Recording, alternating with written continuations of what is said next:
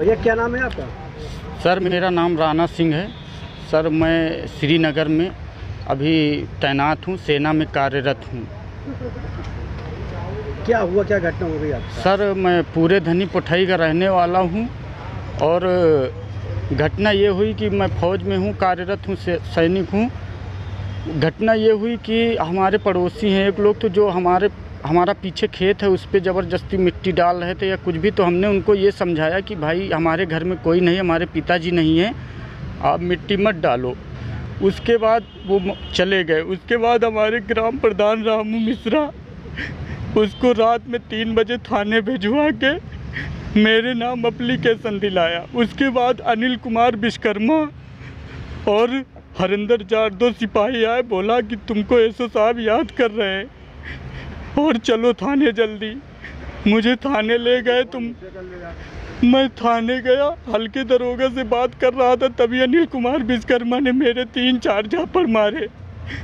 उसके बाद मुझे बैठा के बोला, इसका एक सौ इक्यावन में चलान करो।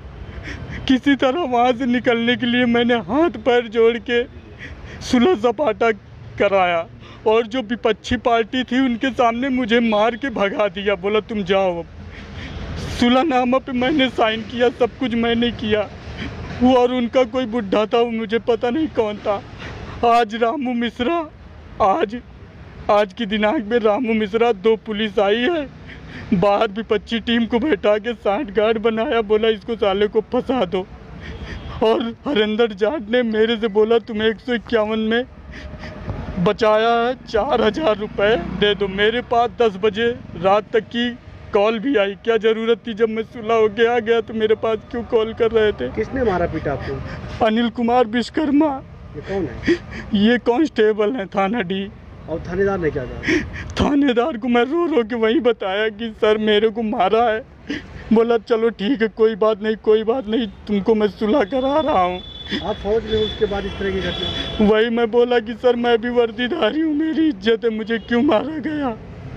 बोले कोई बात नहीं चलो हो गया जो हो गया तुम जाओ। क्या चाहते हो एसपी से क्या करते मैं एसपी साहब से यही कहना चाहता हूँ मेरी नौकरी खतरे में पड़ सकती है मुझे न्याय दिलाया जाए और मेरे ग्राम प्रधान पूरी तरह से लगे हैं विपक्षी को लेके उसको धमका के जब बाहर गाँव के समझा बुझा के उससे बयान दिलाया उसको आज सुबह से दो पुलिस गई मेरे घर के सामने से और रामू मिश्रा प्रधान जी। अगर न्याय न मिला तो क्या करोगे? न्याय नहीं मिला तो मैं मुख्यमंत्री आवास के सामने जाके मुख्यमंत्री के सामने अपने आप पे पेट्रोल डाल के अपने खुद को जला दूँगा। मेरी आत्मसम्मान की बात है ये। तो आपको लगता है मतलब वर्दी में आप आप भी देश की रक्षा कर रहे हैं और साथ तरह घटना? जी।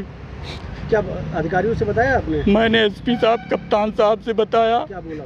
उन्होंने बोला आपके साथ कोई कुछ नहीं करेगा ना आपके खिलाफ मुकदमा लिखा जाएगा इसकी जाँच होगी और उनके खिलाफ कार्रवाई की जाएगी।